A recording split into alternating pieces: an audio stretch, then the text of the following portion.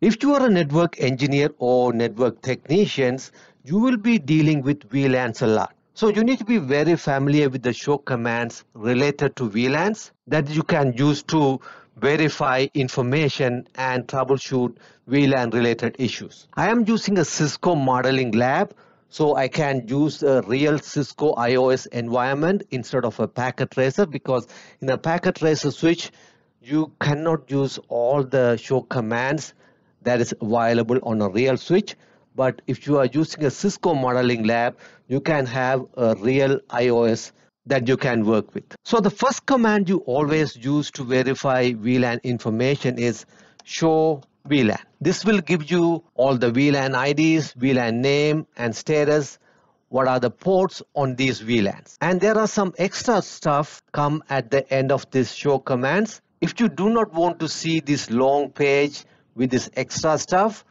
you can issue a command show VLAN brief.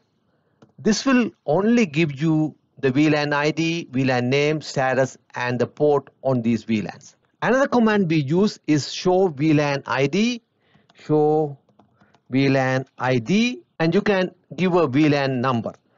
Say for example, 1000, that will tell you the detail of that VLAN. That will only bring the details of that VLAN. For example, if you have hundreds of VLANs on a switch, the list will be so long. And if you know that VLAN ID, you can issue this command to look at that VLAN detail only and what are the ports on that VLAN. You always can issue a question mark at end of any command to see what are the options you have at the end of that command.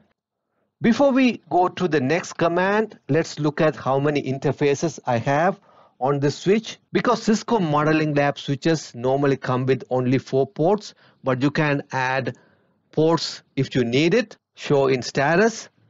Right now I have only four ports. So let's issue another show command that is show int gig 02 switch port when you issue this command, this will give you a lot of information about the port status, including the VLAN on the port. You can see this switch port is on access mode VLAN 1000. The name of the VLAN is test. So you can see a lot of detail about this port. This will be a very helpful command for VLAN related or port related troubleshooting.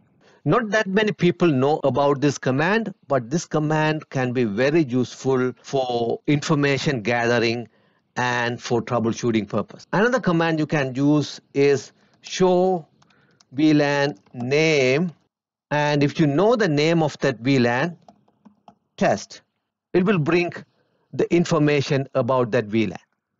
Another command we use is show VLAN ID 100 to 102 and you can add another ID 105 and 1000. This will bring whatever the VLAN you defined in the ID. So you can be very specific by using this ID command.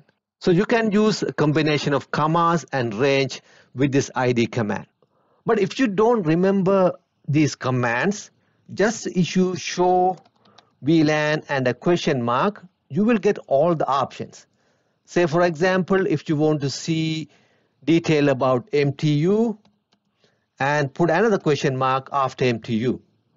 And it is asking an output. So there is nothing after this MTU. You can see VLAN 1 has an MTU of 1500, VLAN 1000 has an MTU of 1500 also. So let's go back again and find something else useful. Show VLAN summary. You can see how many existing VTP VLANs are here, how many extended VLANs are here. In this switch, I do not have any extended VLANs. So that's all for this video. If you have any question, leave that in the comment section. I will answer them as soon as possible.